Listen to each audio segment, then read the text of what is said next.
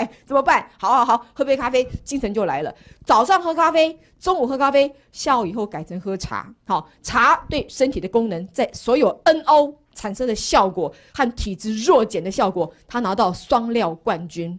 茶是最复杂的保健食品。我先讲儿茶素 （catechin），儿茶素，每一种儿茶素都能够降低你血液里面的油脂成分，所以三酸甘油脂胆固醇搞定了，可以降低我们的血糖不正常的部分，它叫做多杂性的糖化合物。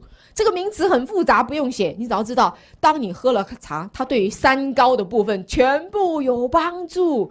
你不是不爱血液脏脏的吗？不是爱不爱血液甜甜的吗？好吧，我们血液要干净，茶一件事就搞定。咖啡可能办不到，茶是可以的哈。降低胆固醇、三酸甘油脂，还有包括人体不正常的血糖在血管里面的。再来，我们喝茶的时候，如果有特殊的成分的茶，它能降低我们的血压。全台湾百分之二十七的人在吃降血压的药，请问吃多久？这三个字讲了好心痛哦，几细囊呢？嘿，是不是？血压高问题很多，怎么能不吃药？你不知道吗？曾几何时，茶叶就是万病之药，所以茶叶可以拿来治疗血压高，这是天经地义的事。唐朝以后，茶才变成了饮料，在神农尝百草的记载上头，茶是一种治疗很多疾病的药，只是它不像一般的药有那么强烈的副作用。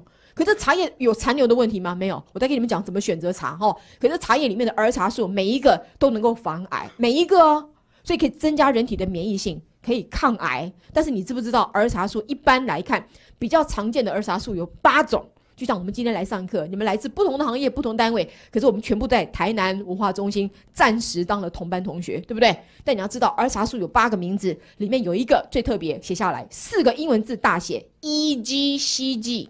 这个儿茶素，它的功能不是在预防癌症，它直接可以杀死癌细胞，所以目前医学界已经把它当做治疗癌症的新药。请问一下，做一个人体实验的用药要几年？十年。各位很聪明，全部答对，十年。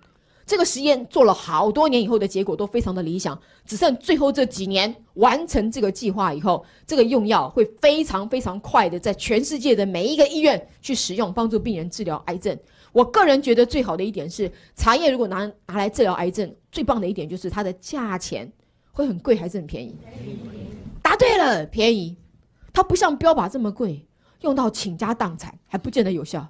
化疗做下去，或副作用这么多，不见得有效。可是茶叶可以很温和的、有效的杀死癌细胞。哎，我们当然今天不想得癌症了，我们朝这个方向前进，绝对不会错。一剂 C G 可以巩固人体的钙质，不要流失。它才是你真正固骨本的东西。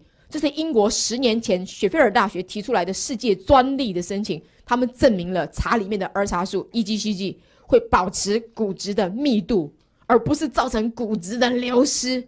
哇，这个完全相反，EGCG 可以缓和关节的疼痛。如果你因为骨质不足的时候，那怎么办呢？把骨本找回来。骨本找回来不是一直吃钙片，不是你从食物当中的钙质要留下来，而不是流失出去的话，我们做好一个管控，EGCG 帮助你骨本的保存。